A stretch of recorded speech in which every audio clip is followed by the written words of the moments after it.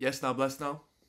Ba-ding! Don't forget the rest now. Des, King of the Pit TV, signing in. Yo, I might look a little bit different. I'll tell you what. I had to get a little bit of sleep. I had to get a little bit of rest in between. I'll listen through to this record, but we're jumping back at it.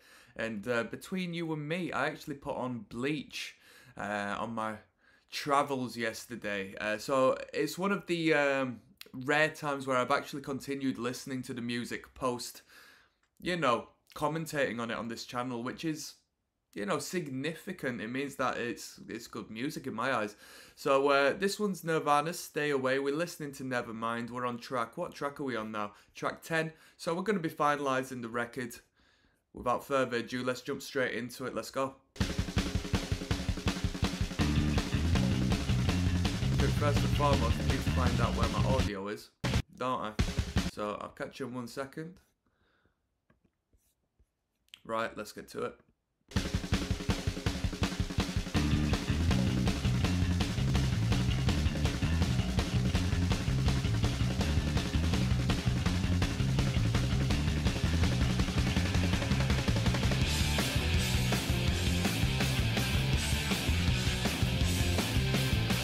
We got plenty of drum rolls in this record. The drum rolls sound really powerful as well, don't they?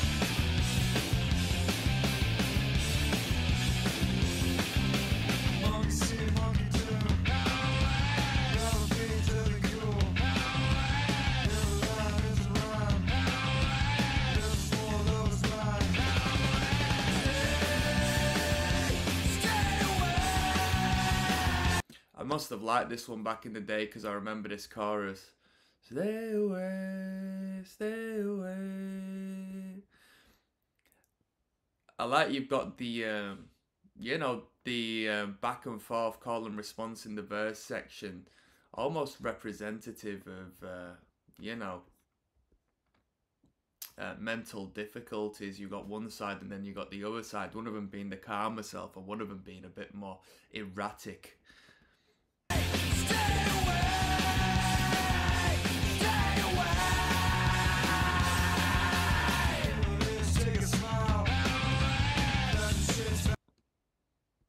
Them toms are really punk rock. Them toms right now.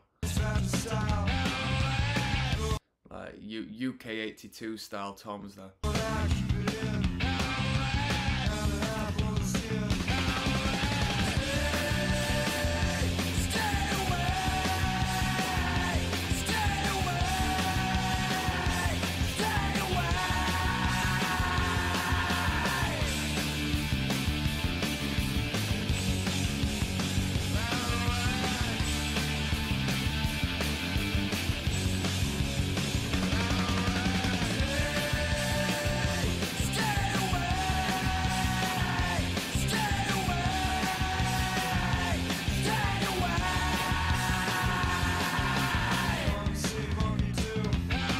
This is a great tune. This is one of my favourites on the record. I mean, I've only just got into listening. This is the first song I've listened to today, and I'm very pleasantly pleased that I've uh, decided to get back into this because I like the verse sections a lot. The chorus is catchy, but I do like the toms and the bass line on the verse in particular.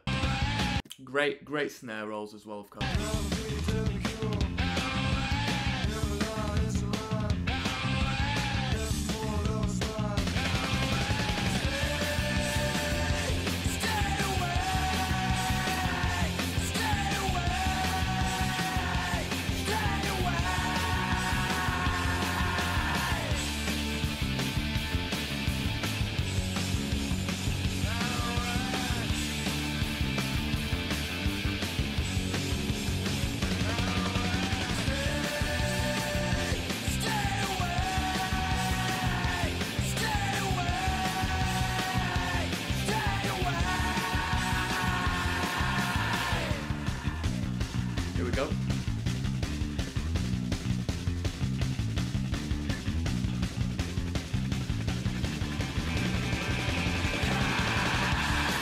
That fade-in jingle with the guitar's really cool because not only is the production fading in, but the audacity of the playing on the actual guitar is, uh, you know, advancing as we bring it back into the track.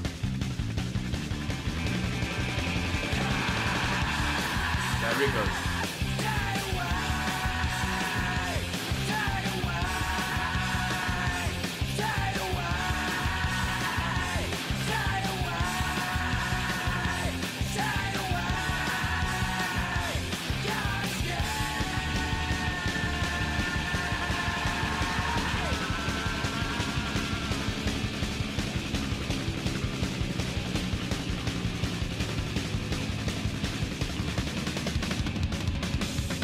I'll tell you what's weird, right? Just getting a call through there. Uh, for the sake of art, the um, artwork is just sort of allowed because it's um, understood and it's not, you know, um, you know, it's uh, it just is what it is. I don't know how to explain it, but it is kind of dodgy, don't you think? Um, I mean, if it was any sort of other artist that had sort of just put this baby on the front, it would be questionable. I mean, to this day, it still is questionable, but obviously, knowing the members of the band, you know that you know it's not for any sort of um, you know dog whistling purposes or to incite any sort of you know. I have to I have to step very lightly around the subject, but what I'm trying to say is that you wouldn't be able to wear the hoodie in public, would you?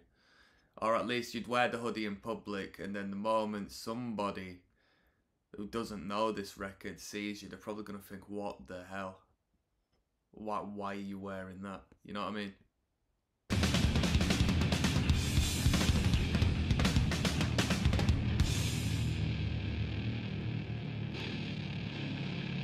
Heavy. We got a wah bar, are we detuning it?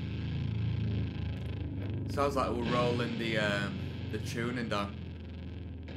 But we could be using a bar of some sorts. I've not heard it for the uh, entire record. Kurt doesn't have a uh, whammy bar on his guitar, does he?